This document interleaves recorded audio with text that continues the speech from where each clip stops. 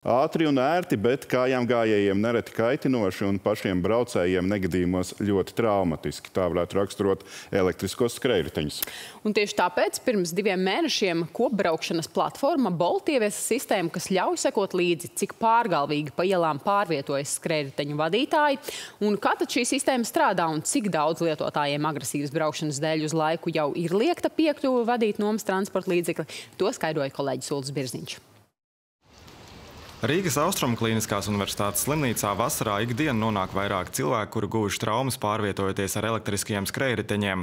Pārsvarā šīs ir uh, sejas kaulu, uh, galvas kausa un galvas smadziņu traumas, bet ir bijuši arī gadījumi, kad brauc ar lielāku ātrumu un uh, nākas cilvēkam uh, operēt, piemēram, vedru, jo ir uh, liesas plīsums vai arī uh, nopietna kruškura ievainojuma ievainojumi, kuri ir jā, jārastē ķirurģiski. Līdzīgaina bērnu slimnīcā. Līdz jūlija beigām te nonākuši 54 bērni. Tas ir par 12 vairāk nekā pērni. Labākā gadījumā, jā, iespējams, nezinu, tie ir izsisti zobi un nu, ir jāšķirās no daudziem desmitiem tūkstoši, lai viņus implantētu.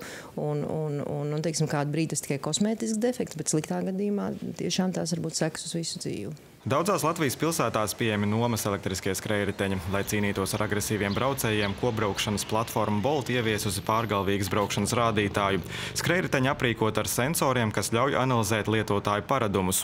Tostarp braukšanu divu tā uz vienu skrējriteņa, strauju bremzēšanu, izslīdēšanu un sadursmi, kā arī nepiemērotu skrējriteņu novietošanu. Ja lietotājs neievēro noteikumus, viņš vispirms saņem pirmā līmeņa aizrādījumu. Ja tas tiek ignorēts, tad seko otrā līmeņa aizrādījums, kad skrējriteņu braukšanas ātrums tiek samazināts līdz 15 km stundā. Ja arī pēc šī ierobežojuma braucējs turpinās apdraudēt savu un citu satiksmes dalībnieku drošību, tad uz nedēļu tiek ierobežota lietotāja piekļuva Baltas kreditiņiem. Ja arī pēc tam paradumi netiek mainīti, tad piekļuvas kreditiņiem var liekt pat uz gadu. Bolt divu mēnešu statistika Rīgā rāda, ka pirmā līmeņa aizrādījumu saņēmuši aptuveni 2000 lietotāju, kas ir aptuveni 1% no kopējā skaita.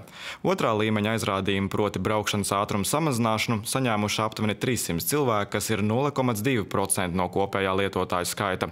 Bet trešā līmeņa aizrādījumu, ja braukšanas aizliegumu saņēmuši 150 lietotāji. Lai mazinātu smagu traumu riskus, satiksmes ministrija rosina noteikt obligātu ķiveru lietošanu nepilngadīgiem elektroskrējriteņu vadītājiem. Šī prasība varētu stāties spēkā no nākamā gada. Nav tā, ka iestājoties 18 gadiem, mūsu galvaskauss kļūst no titānija. Nē, kāds viņš mums ir 15, 16, nu tāds viņš mums arī ir pieaugušo vecumā. Tikmēr satiksmes ministrijā neuzskata, ka ķiveres pieaugušajiem būtu nepieciešama kā obligāta prasība. Ministrijas arguments ir, tai nesot mērķis uzlikt sabiedrībai neizpildāmas normas. Uldis Birziņš, Igors Stāts, Latvijas televīzija.